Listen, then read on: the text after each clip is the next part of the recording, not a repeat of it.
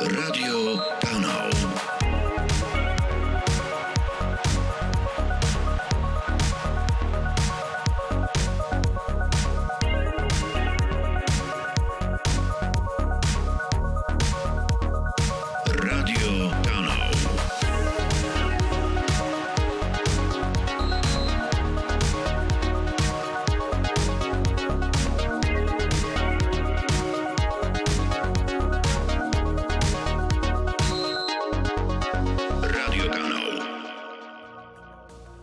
Halo, halo, dzień dobry, Bartosz Gleń. Zapraszam na premierową audycję nowego sezonu. Sezonu, podczas którego wychodzimy z ukrycia. Teraz można dostrzec, kto wczorajszy, a kto świeżynka. W niezwykle prestiżowym pierwszym programie. Witam serdecznie, Kazimierz Węgrzyn Witam, dzień dobry. i dziennikarz przeglądu sportowego Michał Gutka. Dzień dobry. Panowie, jak wam się podoba nowe otoczenie? Bo wiem, że bywacie w różnych studiach przy okazji rozmaitych programów, więc chętnie wysłucham waszych spostrzeżeń. Fantastyczne. Tylko tyle można powiedzieć. Przytulnie bardzo. To teraz spis treści. Audycji numer 1 sezonu 17-18, a on przedstawia się następująco. Ekstraklasa. Zajmiemy się nowym liderem z Krakowa i byłym z Lubina. Poruszymy temat funkcji dyrektora sportowego. Będzie też aplauz, szpila i pan piłkarz. Premier League. Londyn ma najwięcej klubów, ale Manchester największe ciśnienie. Kto wygląda lepiej na wstępie sezonu? City czy United? Ponadto zdeterminowany, by wrócić do elity Kamil Grosicki. Jakie są szanse o tym, opowie nam agent Grosika Daniel Kaniewski. Liga Mistrzów. Trzech Polaków w grze o fazę grupową. Pokusimy się o prognozy. Liga Europy. Pomówimy o Legii, która musi pokonać Sheriff Tiraspol, by zrealizować cel sportowy i biznesowy. 3, 2, 1, zaczynamy.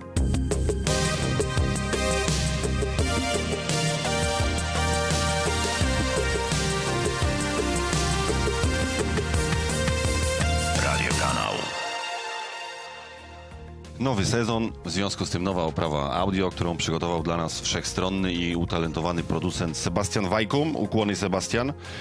Talenty widzieliśmy też podczas El Clasico. Za nami pierwszy mecz o Superpuchar Hiszpanii. Na Camp Nou Barcelona przegrała z Realem 1-3. Czy to był najlepszy jakościowo mecz, jaki widzieliście w sezonie 17-18? Nie wiem, czy najlepszy, to e, trudno powiedzieć. Wydaje mi się, że Real zagrał bardzo dobry mecz. E, na Barcelonie takiego Realu, e, no nie wiem, czy nie oglądałem, ale nie przypominam sobie, żeby Real, e, czuć było taką moc Realu Madryt i, i to, że Real potrafi, potrafiłby odpowiedzieć w każdej chwili. To, to był taki Real, tak to się czuło. Widać było Barcelona, Barcelonę, która jednak straciła Neymara i widać, że straciła coś więcej niż Neymara. Straciła taką pewność chyba siebie jako cały zespół, bo ten Neymar, mimo to, że on był w cieniu Messiego, to niejednokrotnie on robił e, u przeciwników e, powodował taki lęk, taki strach, że e, że za chwilę może się coś, coś dziać. I, I myślę, że Barcelonie uciekł naprawdę świetny piłkarz i tak jak mówię, coś więcej. Coś, coś takiego, co nie będzie łatwe do zastąpienia. Dlatego te telefony do Coutinho, do Dembele, Ale wiesz tam co? jest do zagospodarowania ponad 200 milionów i trzeba Neymara kimś zastąpić. I No to nie tak. może być byle kto. Tak, ale, ale myślę, że Coutinho to oczywiście to nie jest piłkarz raczej na skrzydle, który tak drybluje jak Neymar. Dembele to jest przyszłość. Myślę, że to jest piłkarz na pewno, który potrafi dryblować, ale Neymara myślę, tych dwóch piłkarzy nie jest w stanie zastąpić. Tak mi się wydaje. Ceny poszły tak w górę, że zawsze się mówiło, że można sprzedać Neymara za 222 miliony i uzupełnić skład kilkoma piłkarzami. Jak widać, nawet 100 milionów na jednego z nich, czy Coutinho, czy Dembele może nie wystarczyć. Więc te ceny poszybowały tak w górę, że Barcelona tym transferem Neymara bardzo sobie spętała ręce. W tym momencie trudno zastąpić go po pierwsze jeden do jednego na boisku, a po drugie no cenowo też musisz od razu wydawać, wydawać więcej, więc e, no Barcelona na tle Realu wyglądała zdecydowanie gorzej. Deulofeu Neymarem nie jest. Dembele pewnie też od razu by nie był, jeżeli wszedłby do tego składu.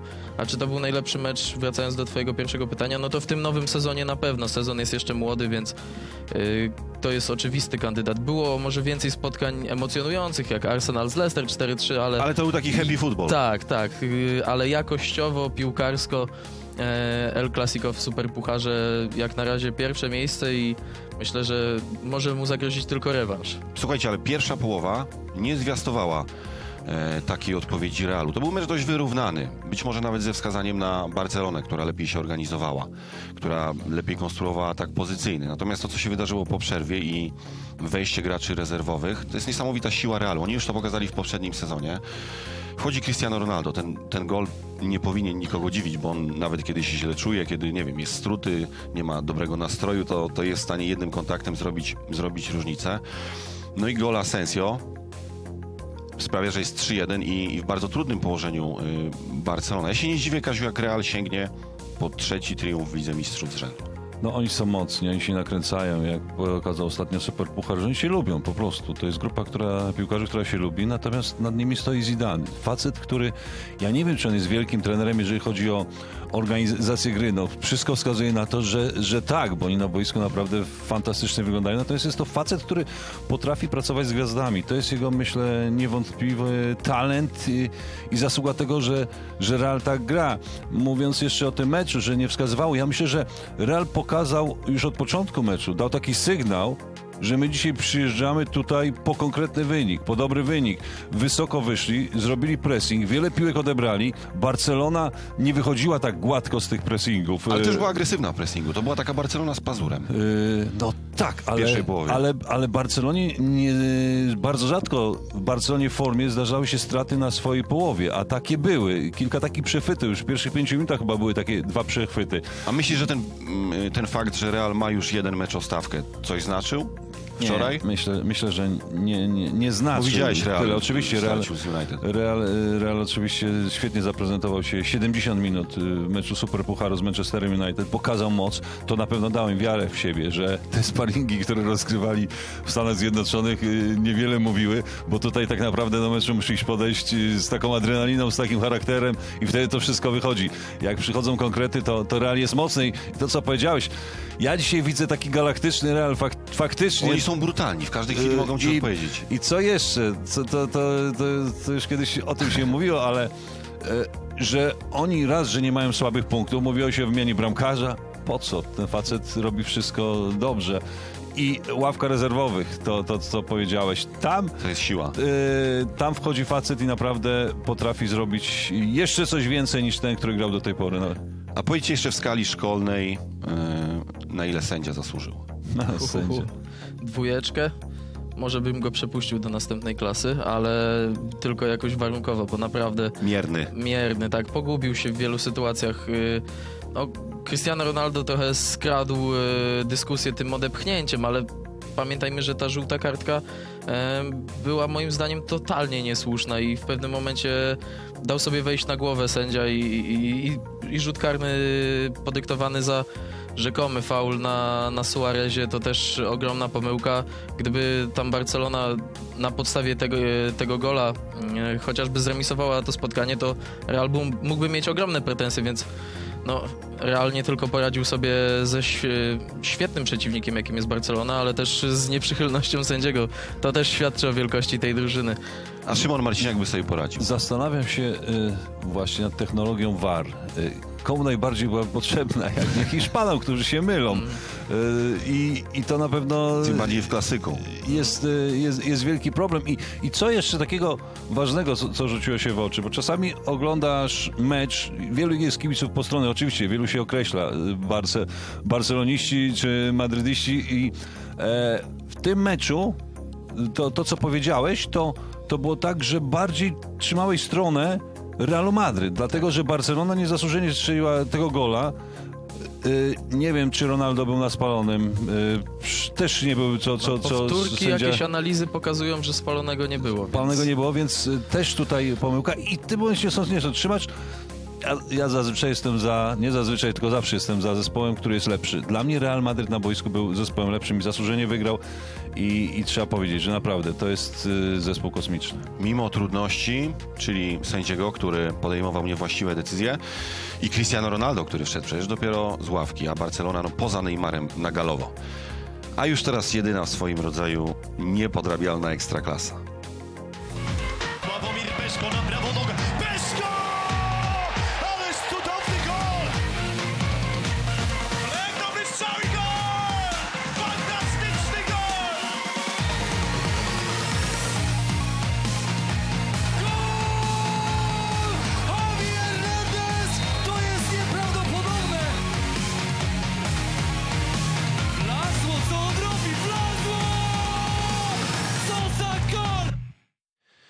Wisła Kraków, liderem Ekstraklasy po pięciu kolejkach.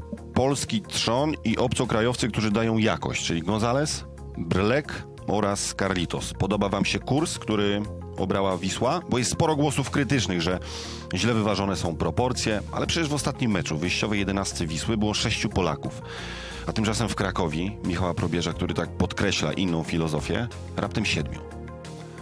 No ja byłem na tym meczu i powiem szczerze, że chciałem widzieć Hiszpanów grających krakowską piłkę. Tego nie było. I trener hiszpański, także to trochę było zaskoczenie. Myślę, że e,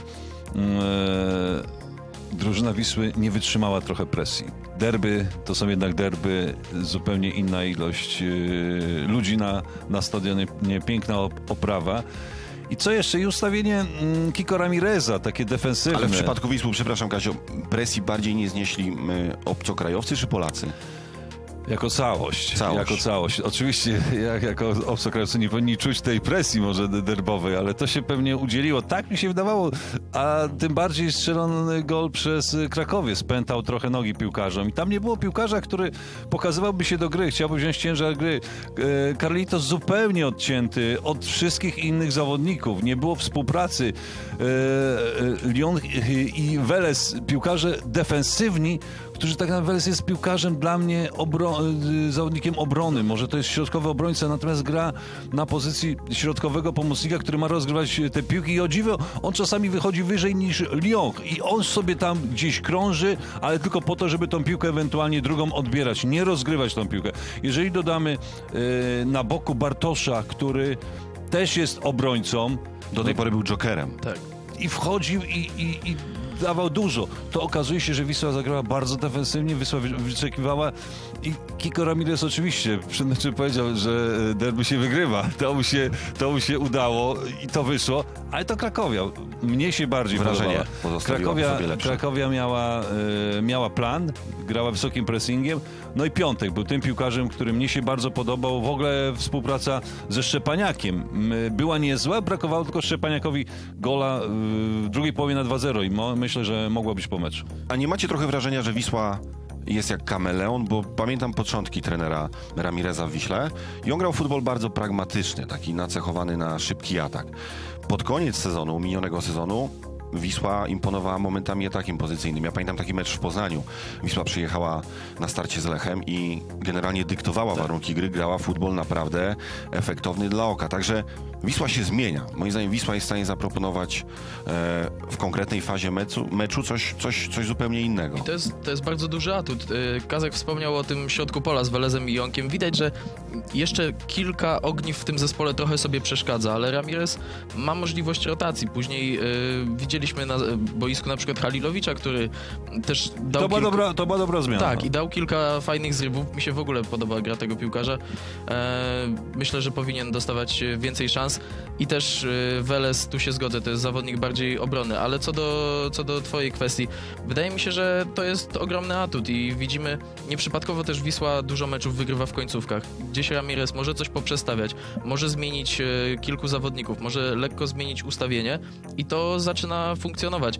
Z Brookbetem bramka w końcówce, z Wisłą Płock bramka w końcówce, z, wygrane derby e, no dzięki błyskowi Carlitosa, ale też z, zryw Ale trzeba mieć takiego 10 piłkarza. Tak, no tam był obrazek taki, że on się aż słaniał na nogach, tak się męczył, już widać było, że zeszło z niego powietrze, nie miał siły, a i tak e, dwie takie akcje pociągnął w końcówce, także to jest ogromny atut Wisły. Wydaje mi się, że ten pomysł na drużynę jest e, całkiem ciekawy. To, żeby ten błysk techniczny dawali zawodnicy z zagranicy, a taki kręgosłup e, i szatnie trzymali Polacy, e, to się sprawdza w naszych warunkach. To nie pierwsza drużyna, która w ten sposób buduje, jest budowana, także mm, też lider nieprzypadkowy i ten charakter i właśnie ta uniwersalność w grze mm, to, jest, to są ogromne atuty Białej Ale- Gwiazdy. Ale jeszcze chciałem dodać, że właściwie Mhm. do tego błysku oprócz Car- Carlitosa z tych Hiszpanów nie, nie, nie bardzo wiem, kto jeszcze miałby ten błysk pokazać. Yy, Questa cię nie przekonuje, bramkarz, Weles też nie, tak? Jąg Znaczy, ja wrócił nie po tylko kontuzji, mówię o jemu trzeba, Hiszpanach. jemu trzeba dać czas, Kaziu, bo, bo pamiętasz, że w poprzednim sezonie on był postacią wiodącą Wisły w wielu meczach. Ja nie tylko mówię o Chwaliliśmy Hiszpanach, Jonka. bo mamy Y, też na myśli Brleka, Pamię- tak? Pamiętajmy, No, Brek to jest- tak, pamiętajmy to jest pierwsza- o, o meczu derbowym o jednej rzeczy, że Krakowia e, prowadziła ten mecz e, pod swoje dyktando i gdyby nie pestka, gdyby nie kartka w 70, 75 minucie, to nie wiem, czy Carlitos tak łatwo by sobie poradził, bo wiemy o tym, że na boisko wszedł Deleu, y, prawy obrońca wszedł na lewą stronę. Zastanawiałem się, oczywiście Michał pewnie teraz po meczu jest mądrzejszy i zastanawia się, czy Wójcickiego, który był w rytmie meczowym, nie trzeba było dać tutaj na lewą stronę, natomiast Deleu na swoją prawą stronę, żeby czuł się naturalnie. On od początku czuł się naturalnie, bo masz tą lewą nogę bliżej linii, ktoś jak ci ucieka, to zawsze tą lewą nogą ciężej operujesz. I tak między nimi on został zakręcony przez y, Carlitosa przy tym golu, więc tutaj ocena tego meczu ja bym się skupił na, na ocenie gry, jak to wszystko wyglądało z punktu widzenia Michała Probierza. Oczywiście trener Kiko Ramirez jest zadowolony, bo wygrał, ale jeżeli chodzi o grę, to pozostawia jeszcze gra Wisły wiele do życzenia. Zresztą kibice dali, dali temu wyraz, bo od 60 minuty po, po, e, no, no były, były krzyki różne e, Wisła, Wisła grać. No i to, to na pewno mogło deprymować. Także myślę, że tutaj trochę ten zbieg okoliczności, ta czerwona kartka zadecydowały o tym, że, że Wisła napędziła się golem Carlitosa. Niedawno liderem Ekstraklasy było Zagłębie Lubin. Zagłębie, które Polakami stoi w meczu z Lechem. E, 18 Pola e, na 18 graczy, 14 Polaków. W kadrze wyjściowej drużyny Piotra Stokowca zazwyczaj 8-9 e, Polaków. Mów- Mówimy często, czy słyszymy, że Polacy są za drodzy, gdy pytamy trenerów, gdy pytamy dyrektorów, sportowych, dlatego sięgają po obcokrajowców.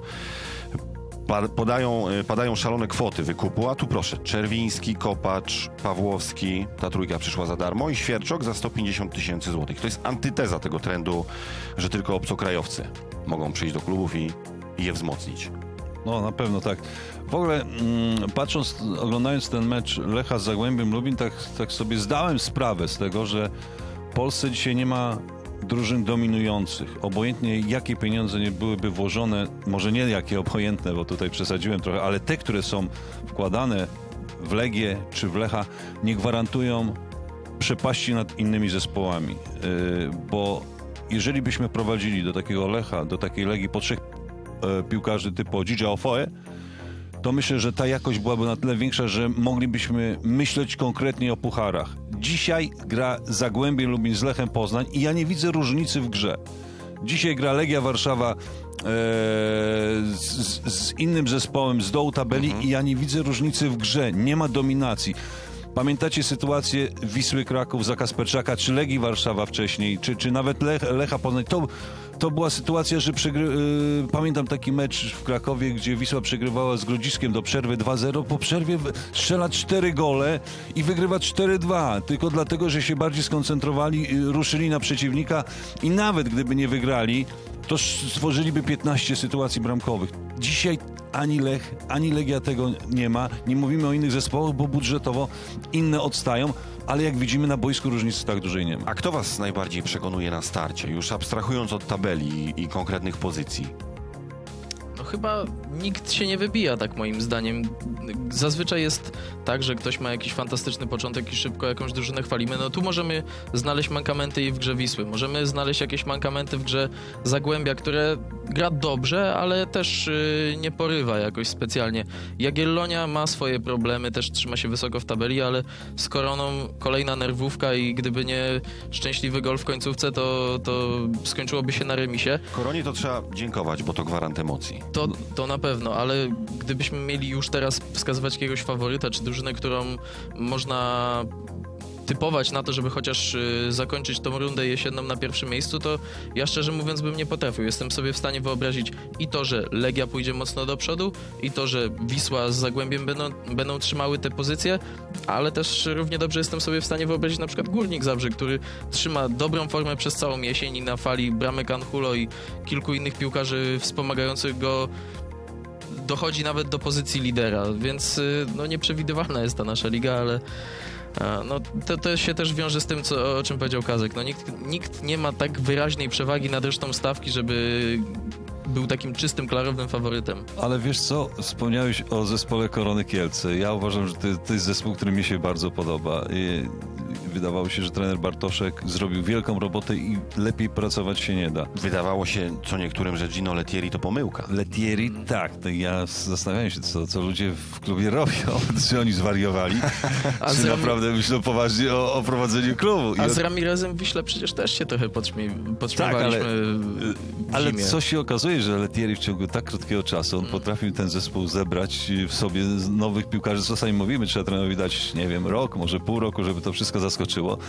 Oni naprawdę dobrze grają. Nie tego zespołu szkoda, że przegrali chociażby taki mecz jak yy, z Jagiellonią Białystok. Dzisiaj mówiąc yy, o, o prognozach, o tym, kto może gdzieś tam grać w Europie, to tak naprawdę tylko patrzysz na, na tabelę i, i kto na suchy najlepiej rokuje. Natomiast jeżeli chodzi o grę, to tak do końca e, nie jest. I oni przecież, mam na myśli Koronę Kielce, mocno weszli w ten sezon. Pamiętamy już ten pierwszy mecz z Zagłębiem Lubin. To równie dobrze mogło być zwycięstwo Korony, ale... Ale podobno po- po wszystko, akcji wszystko, wszystko wraca, Zagłębie. więc pewnie Korona też zagra takie mecze, że będzie słabsza, a wygra. A poza tym Świętokrzyskie uchodzi za wo- województwo magiczne i, i być może coś jest na rzeczy. Y, Czas na esencję, którą wyciągniemy na podstawie trzech kategorii. Pierwsza z nich to... Pan piłkarz. No właśnie, kto zrobił na Was największe wrażenie w kolejce numer 5 Lotto Ekstraklasy? No ja myślę, że dla mnie Carlitos, dlatego że no, facet z, zrobił wynik.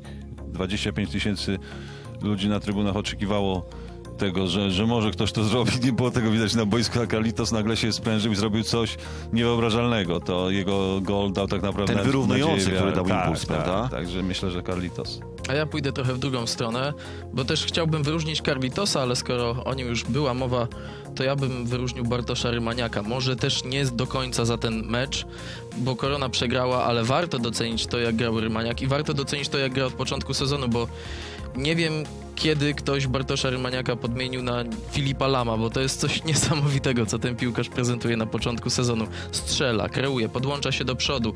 Wywalczony y, rzut karny, zmarnowany później przez Ankura, no ale oddajmy y, wkład w grę drużyny.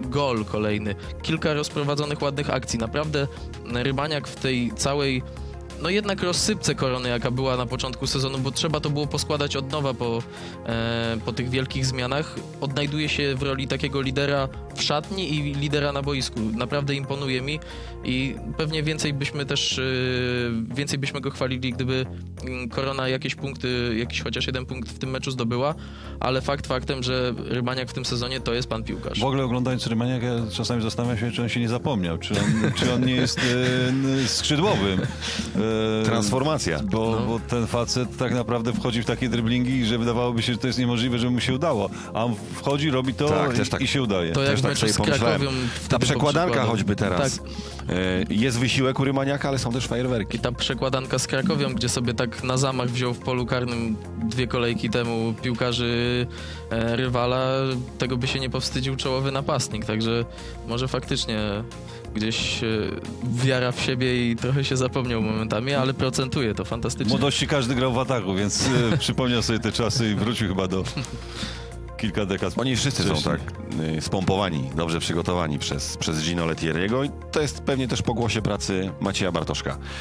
Druga kategoria, Aplauz. czyli kto waszym zdaniem zasłużył akcją, podaniem, zagraniem, pomysłem na wyróżnienie? Jedna pojedyncza akcja i tutaj Do- doceniłbym Doceniamy tak rzeczy spektakularne, Tak, żeby bardzo podoba mi się interwencja Grzegorza Sandomierskiego po strzale Halilowicza, klasa światowa. Gdyby Krakowia ugrała coś w tym meczu, to, to Sandomierski byłby za tą interwencję mocno, mocno chwalony. Tutaj pokazywalibyśmy to zagranie jako jakiś klucz. To była bodaj 85 minuta. Niesamowita parada, lot pod samą poprzeczkę. Mało który bramkarz w naszej lidze jest w stanie No wyciągnąć piłkę. centymetry to zrobiły Tak. Sandomierskiego, natomiast dla mnie Pazdan. E, Pazdan to była interwencja życia.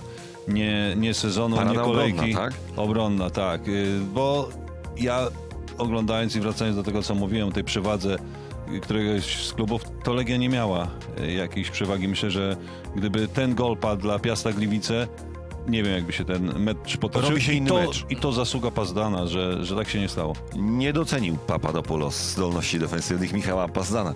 Nie oglądał Euro 2016, prawdopodobnie napastnik Piasta Gliwice. I ostatnia rzecz, Szpila. to ja zacznę może, jeśli pozwolicie, Wujadinowicz. totalne gapiostwo w meczu z Zagłębiem. Lubin zabawił się w y, dyrygenta orkiestry, a zupełnie zapomniał, że, że piłka jest w grze. No czasami tak jest, no pewnie wstydzi się tej sytuacji, tej interwencji, ale i tak, wiesz co, nieźle próbował reagować. Wzrok był w momencie wybicia piłki jeszcze gdzie indziej, a on jeszcze tam nogę wsadził. Czas reakcji ma dobry. Czas reakcji ma dobry. Yy, No faktycznie, e, o, oczywiście e, pewnie wszyscy będą w derbowym pojedynku widzieć Pestkę, kibice Krakowi, że, że Pestka był tym piłkarzem, który osłabił zespół. Ale takie kartki się zdarzają. To, to, to już ze zmęczenia głowa inaczej pracuje. A, i, I myślę, że tego piłkarza nie winił. Młody jest, ja bym na niego dalej stawiał, bo to jest piłkarz obiecujący. Patrząc na niego, jak się zachowuje na boisku, myślę, że Michał też w nim widzi yy, kogoś takiego, kto w przyszłości będzie mocnym yy, zabezpieczeniem lewej obrony w Krakowie. Ja o pestce nawet nie myślałem w tej kategorii, szczerze mówiąc, a Nie, on, Przyszedł on, mi do on grał głowy- serduchem. Tak. Tak, i też y, szkoda tak od razu krytykować młodego piłkarza, który wchodzi do ligi. No to są derby, mógł też spękać w pewnych momentach i nie możemy do końca go za to winić. E, ja chciałbym szpilę wbić e, w Szona Barego, który chwaliliśmy Rymaniaka, ale no jeżeli kogoś mamy winić za stratę tych punktów e, przez koronę, to jednak Barego. Dał się dwa razy objechać, a wcześniej grał dobrze, więc to Tak, mnie trochę zaskakuje. To jest, y, to jest piłkarz, który i z Arką zagrał dobry mecz i nawet ten szalony 4-2 y, z Krakowią to też był taki nawet lider tej całej obrony. Y, Mówię o, jeśli chodzi o środek tej obrony. A wydawało się, że wynalazek. Tak, tak. No a w, z Jagiellonią, gdyby ktoś go obejrzał pierwszy raz w sezonie, to by faktycznie mógł pomyśleć, że wynalazek, bo i przy pierwszym golu, i przy drugim golu to, to jest jego wina. No później jeszcze pech y, y, Kalaste, ale jednak gdyby nie te, gdyby Bary chociaż jedną z tych akcji umiejętnie przerwał, to znowu mówilibyśmy o punktach korony. Tak, brawo, bo to był piłkarz faktycznie do tej pory, którego ja widziałem już w innych klubach, wyżej, dlatego Ja że go tak, widziałem na Legii Kaziu, kiedy debiutował i sobie poradził. ja, ja mówię, że w przyszłości do, do jakiegoś większego klubu, dlatego że ten facet ma taką szybkość, że tam mu nie ucieknie nikt. Natomiast jednego takiego mieć środkowego obrońcę to jest skarb. Możesz grać wysoko i wiesz, że prostopadła piłka nie przejdzie. No Barry cię tu zagubił, ale to było takie e, trochę pechowe. No tak, trochę takie przebitki, bo to też Wynikające trochę takie może Właśnie. ze złego ustawienia, ale to jest do skorygowania. On ma takie zalety, że ja tego piłkarza z ciekawością oglądam, jak on się będzie rozwijał. Pozostajemy w temacie ekstraklasy. Już za chwilę rozmowa o pracy dyrektora sportowego. Zadzwonimy do osoby, która o tym konkretnym zajęciu wie w zasadzie wszystko.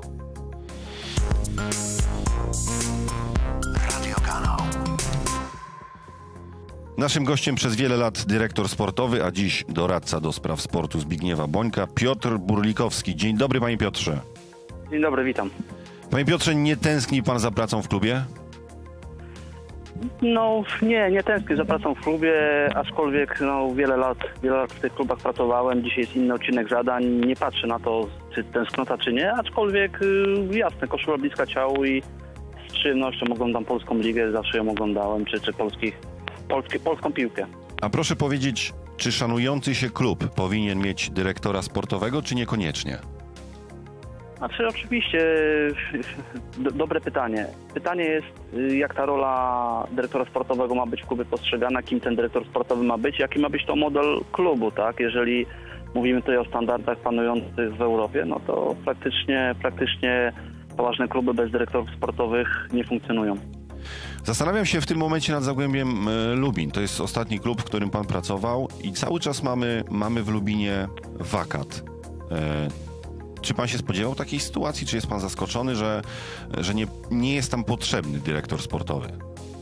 Znaczy, zaskoczeniem to w pewnym stopniu może jest, a, aczkolwiek o jakichś planach Zagłębia długoterminowych też, też wiem, tak, także tam dyrektor sportowy się pojawi, ale muszę powiedzieć jedną rzecz, no tam naprawdę jestem zbudowany tą polityką, która jest tam realizowana i która, która długofalowo, krótkofalowo i długofalowo jest po prostu realizowana, także tutaj transfery zawodników w takim targecie polskim, Tak, zawodników tak. To, niewygranych, one się odbywają, także no, nieskromnie powiem, to była, to była wieloletnia praca, obserwacja, tak jak zawsze podkreślałem, jakiegoś zespołu ludzi, także tutaj przyjścia Kopacza, Maska, e, Czerwińskiego, no to był długi proces. Tutaj to zostało sfinalizowane i, i, i naprawdę, naprawdę gratuluję prezesowi Ceruskiemu. To prawda, wszystkie transfery w zasadzie trafione, do tego klub oparty na wychowankach.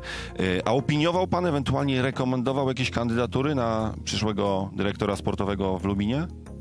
Nie, znaczy to już jest, ja już mm, praktycznie dziewiąty miesiąc jestem poza Zagłębiem, no aczkolwiek... od- Ale warto zadzwonić do pana poradę.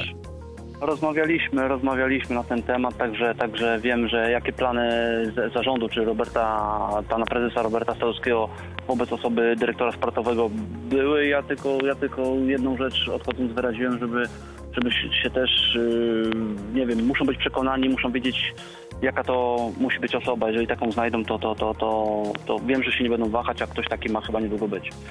Panie Piotrze, teraz trzy szybkie pytania dotyczące poprzedniej funkcji, którą pan sprawował, czyli zapytam pana o, o transfery, których pan dokonał w trakcie swojej e, przygody, pracy na stanowisku dyrektora sportowego. Gdyby mógł pan wskazać konkretne nazwisko, to byłoby super. Strzał w dziesiątkę. Ojej, dobre pytanie. Znaczy, muszę powiedzieć, że mam dużą, dużą satysfakcję niektórych chłopaków, którzy, którzy się po, po rozwijali, którzy przychodzili jako anonim, anonimowi zawodnicy. Bardzo taki, nie wiem, płodny, fajny okres była Korona Kielce. Zawodnicy anonimowi, Piechna, nie wiem, Bonin, yy, Marcin Robak, przychodzący z trzeciej ligi. No tak po kolei to można było sporo wymieniać. Czarek, Wilk, Yy, przez te kilkanaście lat naprawdę jest, jest wielu, wielu, wielu zawodników, które jak patrzę z satysfakcją później gdzieś na ich rozwój, na ich kariery, no to, to, to musiałbym się głębiej zastanowić, bo jest ich naprawdę dość sporo tych chłopaków. Tak, obserwując pana pracę, to moglibyśmy stworzyć kilka, kilka ciekawych zespołów. E, A największe pudło, panie Piotrze? Rozczarowanie. Największe pudło, no takie się też zdarzają i... i, i Nie ma nieomylnych. Chyba, nie ma nieomylnych. Chyba, chyba wydaje mi się, że to jest przyjście do Arki Gdynia Marcina Chmiesta. Aczkolwiek przechodząc do drugiej ligi, Marcin Chmiest przychodził do Sportingu Braga. E, wydawało się przed transferem wszelkie dane ku temu, że to będzie e, transfer udany i dobry. Tak się nie stało. Także muszę powiedzieć też z perspektywy czasu, e, rzeczy nieudane się zdarzają. Najważniejsze w pracy dyrektora sportowego czy pionu sportowego to są rzeczy udane. To jeszcze... Jak ich nie ma, to jest Mhm. problem. Jasne. Panie Piotrze, to jeszcze zapytam, bo obserwuje pan naszą ekstraklasę o najbardziej wartościowego gracza ligi, pana zdaniem, czyli piłkarza, który może odejść za największe pieniądze. Znaczy, to jest dobre pytanie, bo, bo myślę, że trzeba oddzielić sobie jakieś dywagacje takie medialne, dziennikarskie od, od rzeczywistości, która, która panuje na rynku. Przede wszystkim odchodzą zawodnicy młodzi. E, Polacy są w cenie, tak, polscy zawodnicy, zawodnicy młodzi, którzy, których rynek zachodni chłonie za spore pieniądze, ale tacy, którzy jeszcze, którzy jeszcze są do sprzedania. Także tutaj, nie wiem, wartościowy zawodnik ligi niekoniecznie musi, nie, niekoniecznie musi być to najdroższy zawodnik. No taki dam prosty przykład o Gigi Ofoe. Zdecydowanie jeden z najlepszych zawodników, nie najlepszy w polskiej lidze, a wartość jego w stosunku do Bednarka na przykład no, dużo, dużo niższa. Tak? Także tutaj kandydacie na jakiś duży transfer upatrywałbym zawodnika e, wśród zawodników młodych. y, no na pewno, na pewno też y, ofensywni zawodnicy są w większej cenie, ale tutaj myślę, że zawodnicy, zawodnicy przede wszystkim tam do maksymalnie 23 lat to są zawodnicy w cenie. Wśród takiej grupy zawodników upatrywałbym kogoś na duży transfer. Piotr Burlikowski był z nami. Dziękuję panie Piotrze za poświęcony Dziękuję czas. bardzo. Dziękuję bardzo.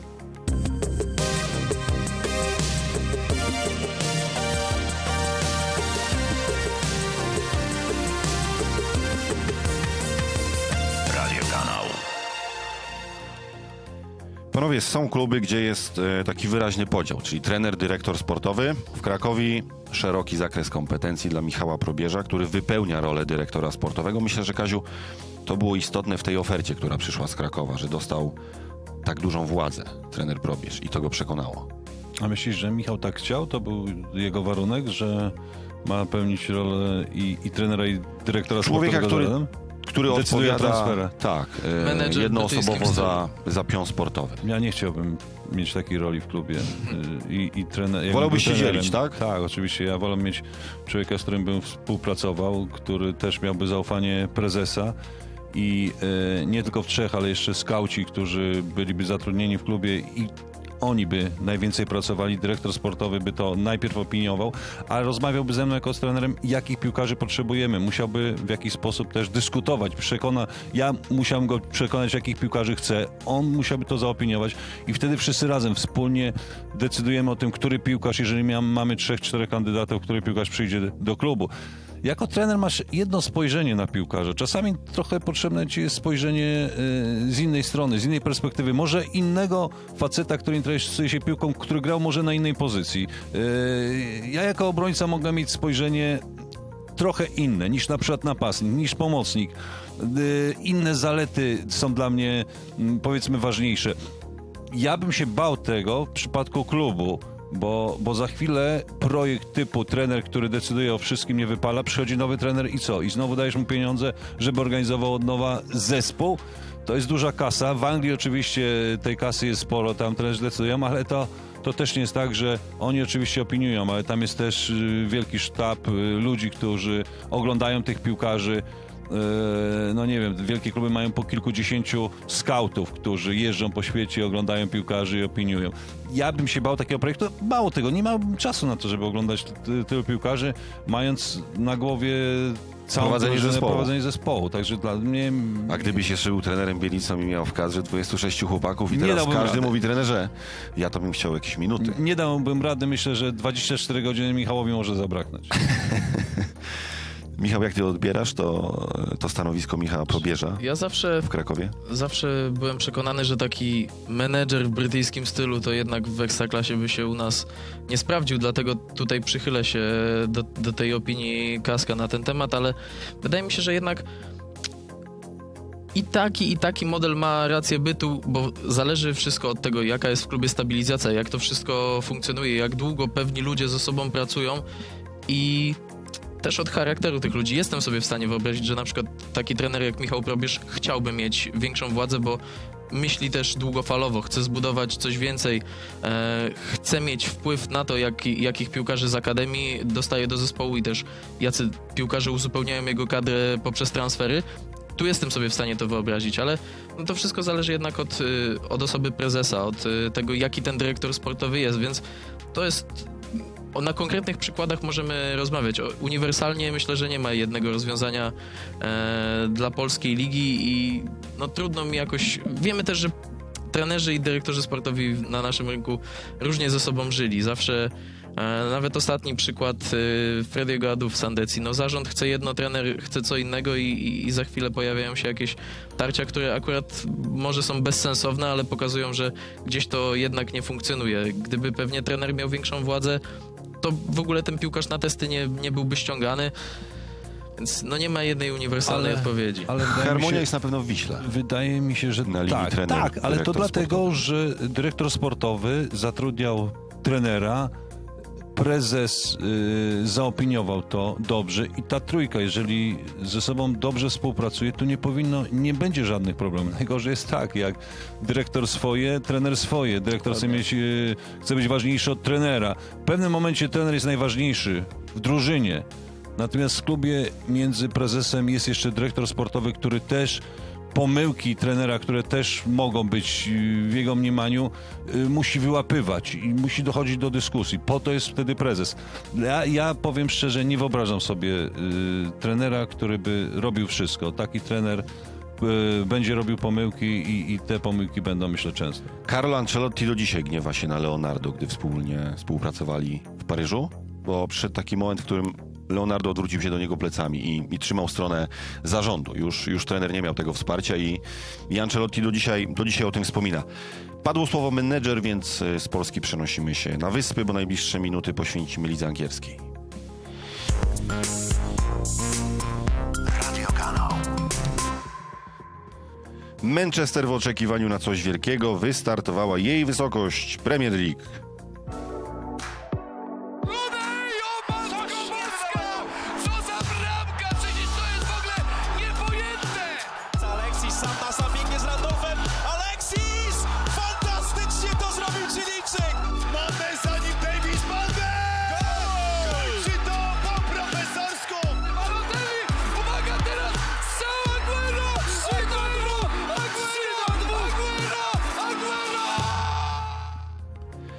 Jeśli w Londynie nie będzie tytułu, to nikt nikogo nie oskalpuje. Natomiast myślę, że, że w Manchesterze zrobi się gorąco, bo poszła duża kasa, są słynni trenerzy, autorskie pomysły i nie ma zmiłuj, musi być coś dużego. Mistrzostwo Anglii albo zwycięstwo w finale Ligi Mistrzów. Też tak to widzisz, Kaziu? No na pewno dla Guardioli to już jest czas. Yy, czas długi bez tytułu i, i duże pieniądze. Dobrze o tym wspomniałeś, bo, bo pierwszy sezon, o ile niska pozycja Manchesteru United widzę, o tyle dwie rzeczy do gabloty, tak? Puchar, Puchar Ligi i triumf w Lidze Europy, natomiast Guardiola nic. Guardiola nic i, i myślę, to ten sezon powinien pokazać, czy faktycznie wybitnym, ale ja uważam, że wybitnym, natomiast czy, yy, czy fantastycznym to nie jest Guardiola, który coś stworzy jednak kolejny raz. Ja A może być coś takiego, Kaziu, że Anglia go przerosła? Nie, Takie hasło? Nie, nie. Po prostu Liga Angielska jest bardzo, bardzo trudna. Mówiłem o, o w Polsce, że nie ma takiego wiodącego klubu. Tam też, żeby zdobyć mistrzostwo, to musisz naprawdę yy, nie mieć spadku formy, miesięcznego spadku formy, bo może ci to wszystko gdzieś yy, uciec. Mm, no, ja liczę na to, że, że kluby z Manchesteru będą klubami wiodącymi w tym roku, bo Manchester United też Yy, za sprawą Mourinho musi grać lepiej, musi yy, nawiązać do tego, co, co Manchester grał wcześniej. I Lukaku daje taką dla mnie gwarancję faceta, przy którym inni pójdą trochę do góry. Zobaczą, że mają z przodu gladiatora, można mu tą piłkę grać na głowę, I on do na niej ciało. dobiegnie w przeciwieństwie Yy, do Ibrahimowicza, który Dokładnie. I, Piłek i, może, dobieg nie lubi. I może zdemolować jeszcze po drodze ze trzech obrońców. Także to, to na pewno też. Już zaczął strzelać. To, to też Świetnie dobrze świadczy, dobrze rokuje.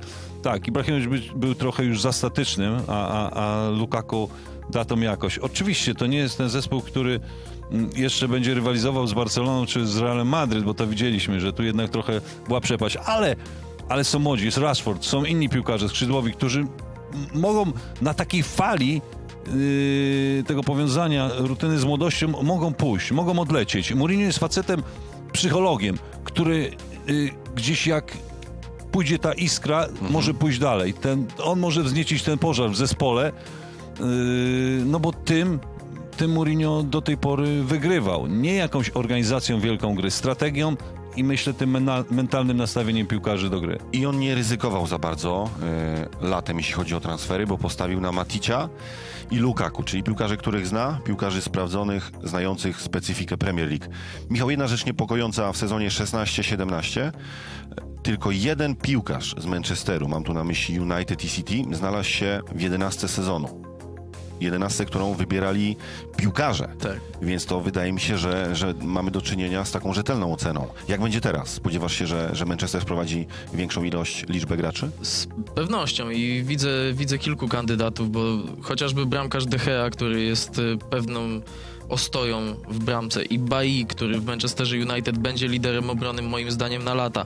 Matic zapowiada się na świetny transfer i właśnie już w tym pierwszym meczu pokazał, że robi to, czego wszyscy od niego oczekiwali. To on wykonuje tą czarną robotę, to on ma tutaj odebrać i dać pierwsze podanie, żeby więcej wolności mieli Pogba, Rashford i to widzieliśmy w pierwszym spotkaniu, więc kolejny kandydat, Lukaku, jeżeli będzie utrzymywał wysoką strzelecką formę.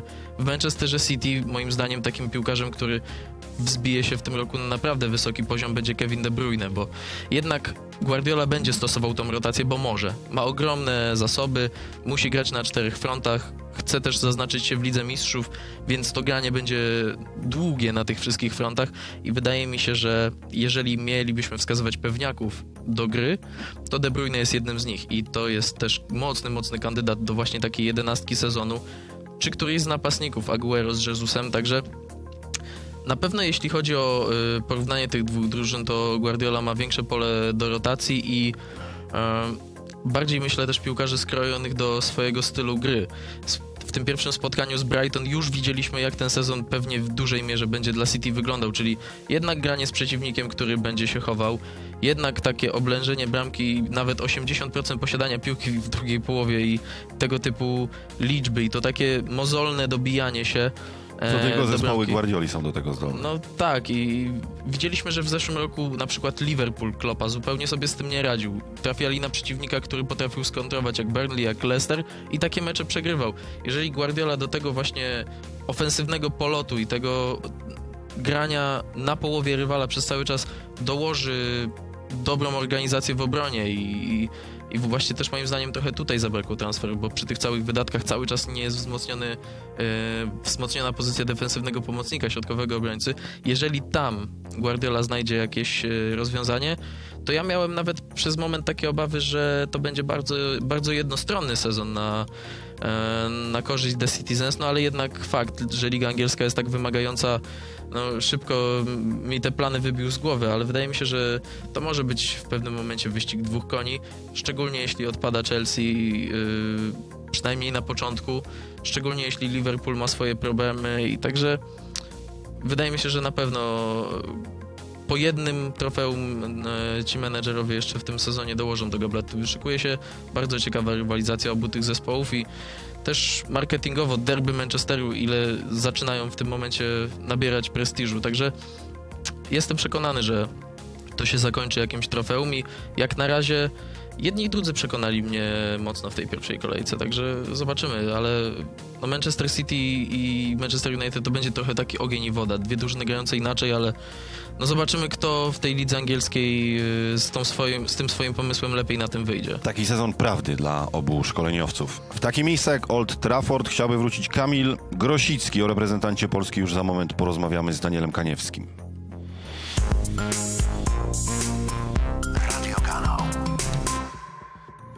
Naszym gościem Daniel Kaniewski, agent i doradca do spraw wizerunku Kamila Grosickiego. Dzień dobry, Daniel. Dzień dobry, witam serdecznie. Kamil Grosicki zszedł y, na wyspach piętro niżej, ale entuzjazmu nie brakuje. Pierwszy mecz asysta, drugi mecz gol. To pomaga tobie, wam w negocjacjach? E, Na pewno pomaga, ale myślę, że menadżerowie klubów Premier League, nawet tych, które nas interesują, wiedzą dobrze o tym, jaki potencjał brzemię w Kamilu i tak naprawdę mam nadzieję, że Kamil niebawem wróci do Premier League. A ten horyzont, na którym widać Premier League, jest dość przejrzysty czy lekko zamglony? Jest dość przejrzysty. Po nawet ostatnich meczach, które odbyły się w miniony weekend w Premier League, uważam, że e, to były dobre me- mecze dla Kamila. Tutaj słuchałem Was bardzo uważnie, rozmawialiście o górnej półce Premier League. No, my mówimy już o tej, można powiedzieć, niższej ósemce, o tych zespołach, które nas najbardziej interesują. Czyli Manchester na razie nie. Na razie Manchester nie. Na razie Manchester nie. Ale to też zależy, który. Poczekalni.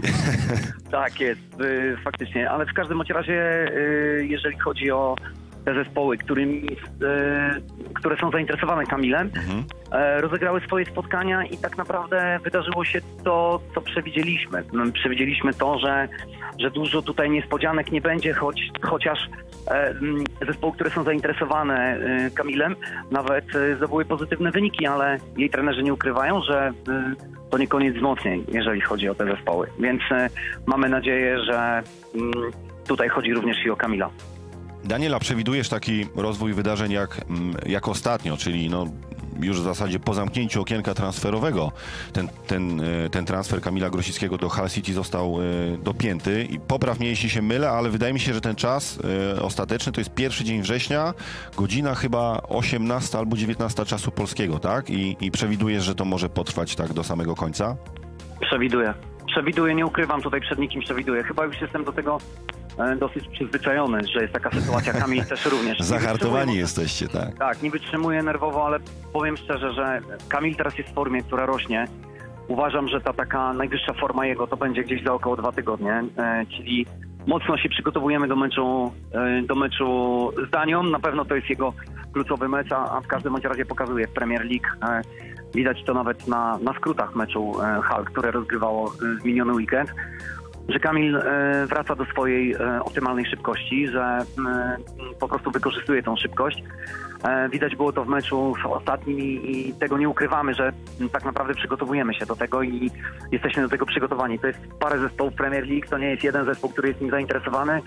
Ja uważam, że w tamty, że mm, pod koniec stycznia e, tak naprawdę Kamilem były zainteresowane dwa zespoły. E, Mhm. Teraz ich jest o wiele więcej. Pojawiły się informacje, przynajmniej do mnie dotarły, o zainteresowaniu ze, ze strony Newcastle. Prawda to czy fałsz? Prawda. Czekamy cały czas. Myślę, że ten zespół y, będzie do końca w grze.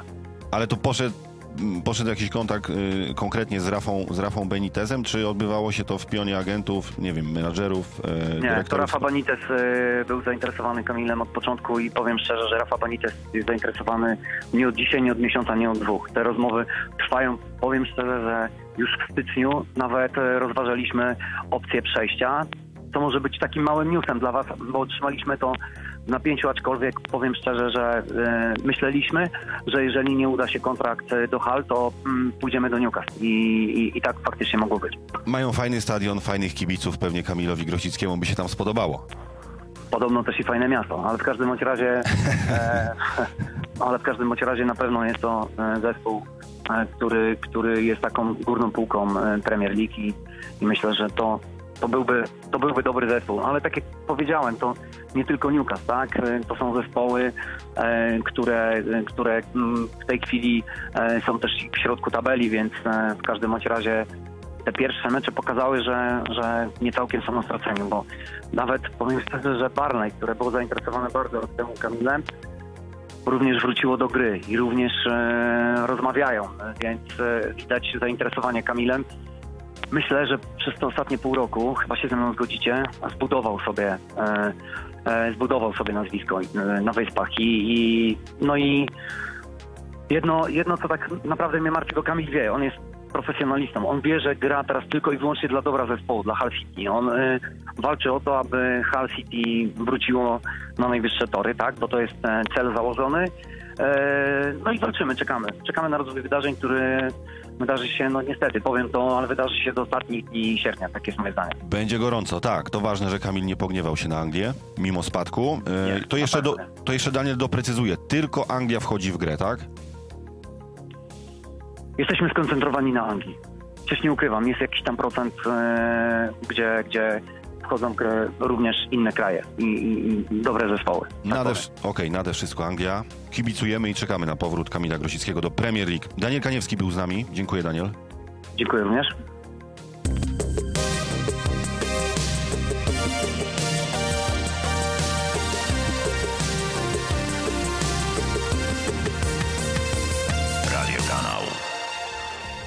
Panowie, dobrze by było, żeby wrócił Kamil Grosicki do Premier League, bo, bo bramkarzy mamy.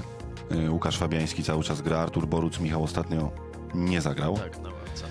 A kogoś z pola fajnie mieć w tej Anglii, Kasiu, co? No myślę, że Kamil ma jedną rzecz, y, którą przekonuje menedżerów, to tą szybkość, która w Anglii jest potrzebna. Na skrzydle musisz być szybki, jak nie jesteś szybki, nie umiesz dryblować, nie, nie wypuścisz sobie piłki na 20 metrów, to się w Anglii podoba. Kibice w tym momencie się ożywiają. Myślę, że Kamil z tym zdobył sobie serca, zwrócił na siebie uwagę i jeżeli tu menedżer tak mówi, że, że jest y, nie tak daleko, to, to kto wie, no pokazał się, że Premier League też sobie radzi. To nie jest tak, że to jest jakieś ryzyko, tylko yy, no dobrze by było. Michał, gdybyś miał zgadywać, intuicja, nos, gdzie trafi Kamil Grosicki? Takie pierwsze skazanie? No, pierwsze wskazanie, jakie bym rzucił, to jednak to Newcastle. Skoro jeszcze nie przeszedł do Watfordu, gdzie jest menedżer Me- Marco Silva, który go chciał mocno w zimie i o niego zabiegał skutecznie, skoro ten transfer jeszcze nie został dopięty, to wydaje mi się, że jednak y, Newcastle wychodzi na faworyta. Też była mowa o West Hamie w przeszłości. Wydaje mi się, że ten kierunek po transferze Arnautowicza jest nie dość, że mało realny, to mało, mm, mało korzystny.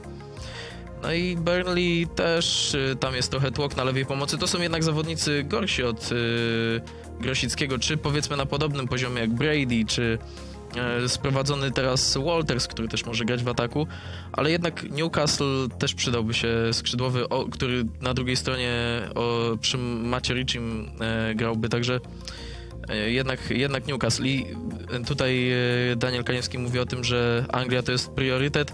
I ja też spotkałem się z takimi informacjami. Słyszałem, że odrzucił Kamil ofertę z Freiburga, gdzie szedłby do drużyny takiej dobrze zakorzenionej w Bundeslidze, grającej nawet w tym roku w pucharach. Y, liczy na Premier League, więc y, Nie chcę iść śladem Bartosza Kapustki. nie, wydaje mi się, że jeżeli nie uda się Premier League, to zostanie w hali, pomoże e, w walce o awans, ale jednak stawiam, że, że się uda, do końca okienka się uda, do ostatnich minut. Zamykamy temat Premier League. Najwyższy czas na Ligę Mistrzów. Radio Kanał. Trzech Polaków w grze o fazę grupową to nasz następny wątek.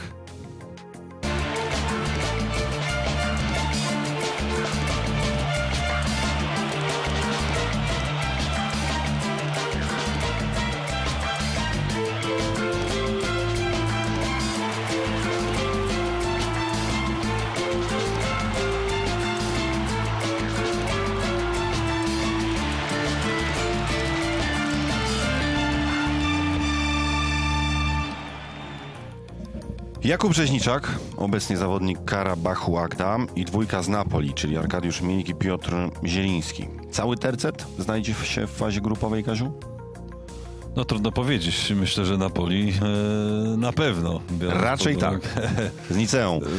Choć kto wie, bo... Chociaż tak, Bo na pewno, na pewno no, to, to nie. Natomiast mają ma duże szanse. Jest to, jest to zespół, który no, to byłaby duża porażka, biorąc pod uwagę to, że ostatnio... Zespół, który dobrze się ogląda, Kaziu, prawda? Tak, no, Napoli. no zespół, który gra spontanicznie, ma, e, ma takie DNA, gdzie to jest drużyna, która musi grać kombinacyjnie. Trener od nich tego wymaga, takich zawodników sprowadza. No i szkoda była wielka, gdybyśmy nie mieli dwóch Polaków, którzy dobrze rokują na to, że, że to by im dało jeszcze takie, takiego kopa do przodu, jeżeli chodzi o, o, o jakość gry. No i też Napoli grające na kilku frontach to szansa dla Arkadiusza Milika, który rywalizuje z Drisem Mertensem. Im więcej meczów, tym więcej minut.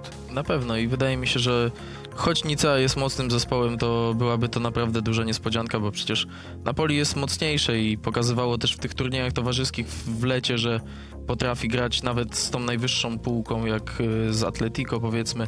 Także to jest zespół, który e, my, moim zdaniem awansuje, a co do Rzeźniczaka i Karabachu też jestem sobie w stanie wyobrazić e, przejście Kopenhagi, bo Kopenhaga jak na razie jej droga do tej rundy wcale nie była przekonująca i z Wardarem się męczyli.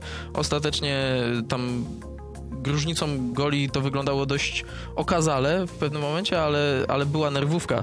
A Karabach y, to taka zadziorna ekipa, która u siebie będzie szczególnie mocna. Pierwszy mecz jest właśnie w Azerbejdżanie. Jeżeli uda się wygrać, to jestem sobie w stanie wyobrazić taką sytuację, że w Danii y, Azerowie z Rzeźniczakiem przywożą remis i jest no jednak sensacja, ale jestem sobie w stanie to jak najbardziej wyobrazić. Więcej w ogóle niespodzianek y, wydaje mi się, że będzie jednak w tej ścieżce mistrzowskiej tak zwanej, a w tej niemistrzowskiej e, jednak przejdą faworyci, mimo że trafiły nam się takie dwumecze jak Liverpool, Hoffenheim i Napoli Nica, czyli powiedzmy hity na tej, na tej fazie rozgrywek, ale jednak tam, tam prędzej widzę faworytów grających w fazie grupowej, a w tej fazie mistrzowskiej z Karabachem jestem sobie w stanie wyobrazić kilka niespodzianek. Myślę, myślę, że nie doceniamy trochę Azerbejdżanu, Kazachstanu, że to jest liga, yy, jak przystępujemy... Wiesz co, Kaziu, już zaczęliśmy doceniać. do rywalizacji, tylko tam jest to, czego u nas nie ma. U nas, tam są dwa, może trzy wiodące zespoły. Jeden może wybija się i, i tak naprawdę na niego się stawia, że to jest yy, w oczach Azerbejdżanu, czy Kazachstanu prawie pewniak yy, w oczach kibiców. Natomiast u nas, tak jak mówię, coś się podziało, że takich zespołów nie ma. Nie mamy takich budżetów, mimo to, że Legia no ma ten budżet spory, ale to zupełnie nie przekłada się na to, żeby dominować w kraju. Nie bez przyczyny Jakub Rzeźniczak zdecydował się na transfer do Karabachu. Drugi raz z rzędu może zagrać w elicie. W fazie grupowej Ligi Mistrzów, a w ostatniej części audycji skupimy się na Lidze Europy. Radio Kanał. Przed nami dwumecz Legia Sheriff i właśnie o tym już za chwilę.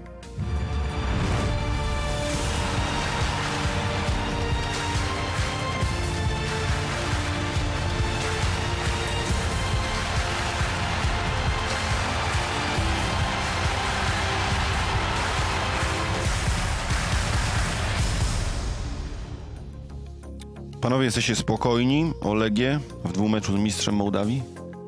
Nie, bo nie oglądałem e, przeciwników, więc trudno mi powiedzieć, jaki poziom prezentuje. Myślę, że Krzysztof Król kiedyś grał w tym klubie. tak, myślę, że trenerzy Legii już doskonale wiedzą, z kim grają i jak się do tego meczu nastawić. Niewątpliwie, no, to by była wielka szkoda dla, dla naszej piłki, że, że żaden zespół nie gra w lidze Europy, ale, ale jestem dobrej myśli. Myślę, że drużyna stanie na wysokości zadania. Y, Koncentracja będzie zupełnie inna niż do meczów ligowych. Tutaj wiedzą, co mogą stracić. A forma, forma idzie w górę poszczególnych piłkarzy? Widzisz jakieś symptomy poprawy? Powoli tak, ale to nie jest tak, że drużyna jest w formie i można powiedzieć, no nie, o Legię jesteśmy spokojni, bo tak na pewno nie jest. Michał? Sheriff odpadł z Karabachem, więc y, jakieś tam porównanie tego... I było blisko. Tak, porównanie tego mniej więcej jaka, jaką klasę prezentuje ta drużyna mamy i jednak wydaje mi się, że Legia przejdzie. Legia zagra w fazie grupowej Ligi Europy. Na pewno wydaje mi się, że Mołdawianie podejdą do tego spotkania, do tego dwumeczu w taki sposób, że jednak będą się chcieli bronić, że dopóki nie będą musieli gdzieś odrabiać strat yy, i dopóki ten wynik będzie korzystny, to, to będzie naprawdę trudna przeprawa Legii.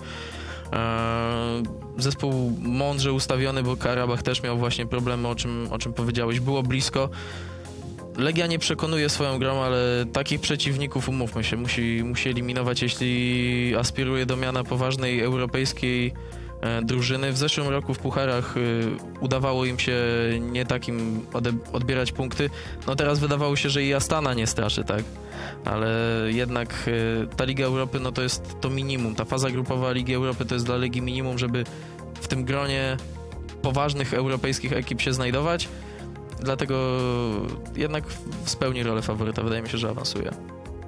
Sadiku, Kaziu, jego gole to kwestia czasu? Ty też y, jesteś zdania, że on może dać Legii tyle, co Nikolić?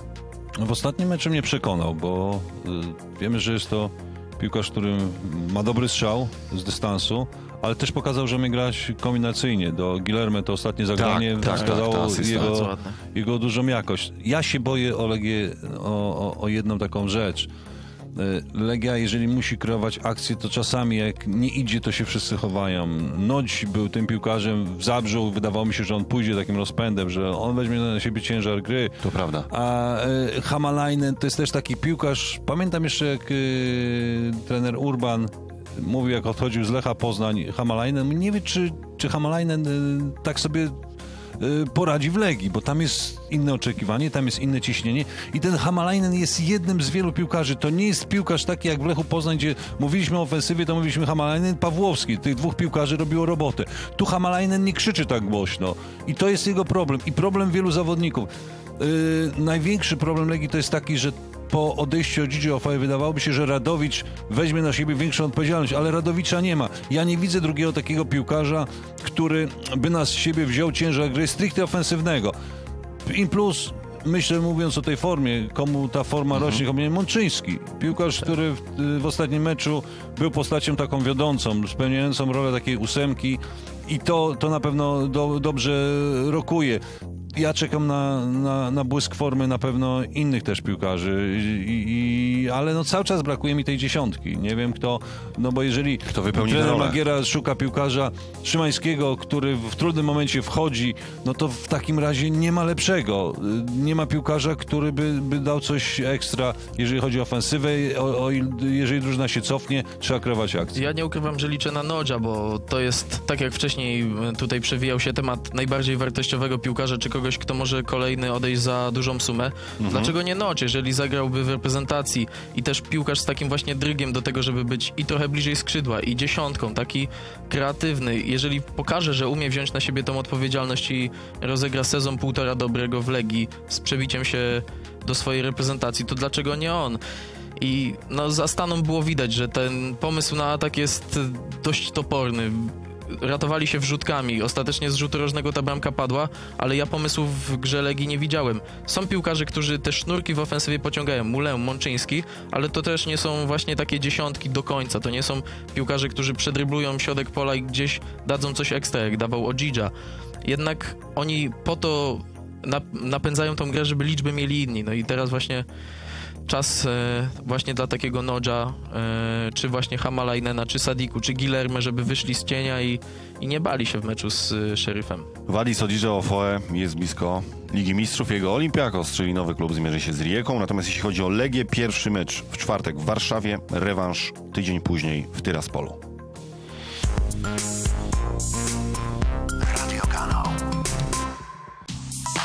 Tradycyjnie spotkanie puentujemy muzyką. Dziś stawiamy na producenta, który pochodzi z Paryża. Nazywa się Boston Ban i popełnił utwór pod tytułem Missing You. SoundCloud, iTunes oraz YouTube, tam znajdziecie nasze audycje, natomiast wszystko o transmisjach sportowej części serwisu kanalplus.pl. Kazimierz Węgrzyn, Dziękuję bardzo. Michał Gutka Dziękuję. i Bartosz Greń. Dziękujemy za uwagę. Do usłyszenia.